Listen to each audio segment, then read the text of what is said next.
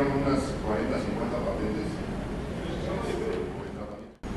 El estándar SECUI 9 y los ACES.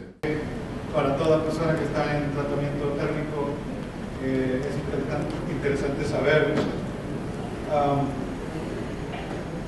Ilse tiene 65 años estar en el mercado de hornos vacío y a través de eso hemos obtenido pues, mucha experiencia. Y cuando hablamos de hornos al vacío, lógicamente lo primero que, tenemos que tener claro es qué vamos a tratar, qué materiales vamos a procesar.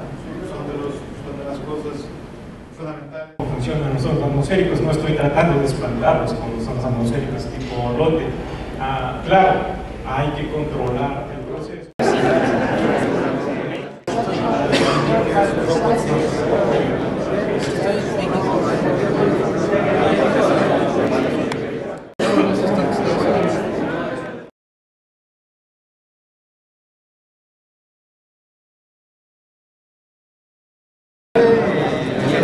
De hecho, así lo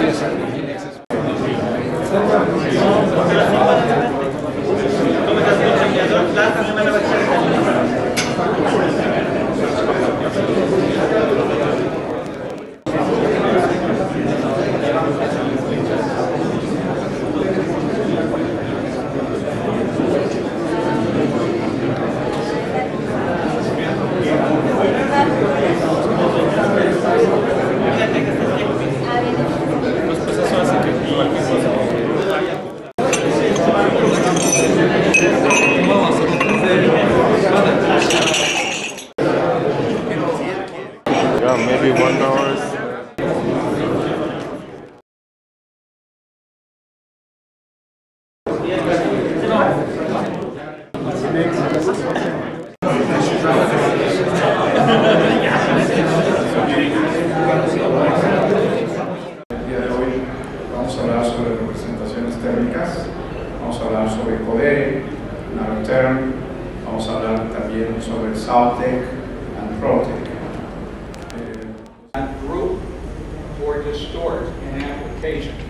And this is the key to the improvement in productivity. They have excellent resistance to carburization. They will, they're, they're fine in carburizing environments as, at as high a temperature as you want to operate them. If you operate at 1600, 1600. a lot of uh, lower purity um, as opposed to the vacuum furnaces where typically you're going to see a higher purity requirements. When looking at a nitrogen generator, the purity is going to play a huge role in the capital expense.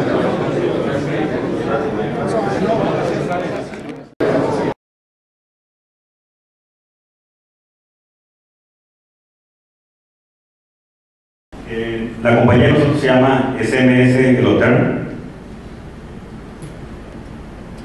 Eh, nosotros pertenecemos al grupo SMS.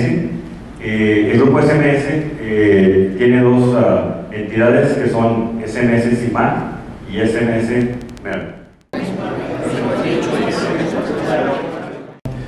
pictures and uh, see what's going on. I'm sure you'll, you'll get the gist of it. My, my program is entitled Carbon Fiber Composite Fixturing for Reduced Part dis, uh, Distortion in Vacuum Furnace Heat Treating.